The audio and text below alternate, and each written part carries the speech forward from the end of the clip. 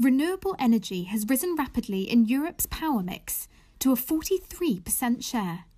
That's according to Wärtsilä, a Finnish ship technology and power plant maker, which tracks data on energy prices and usage across Europe. As electricity demand has dipped, countries such as Germany, Spain, and Britain have had to shut down coal fired power plants. CEO Jaakko Eskola said problems related to coal power are now apparent, saying, Coal fired electricity production has to be run at full capacity all the time. It cannot be adjusted.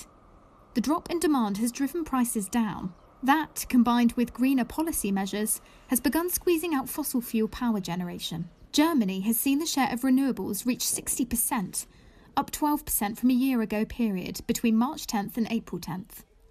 In Britain, renewables now have a 43% share of generation, up 10% on the same period in 2019.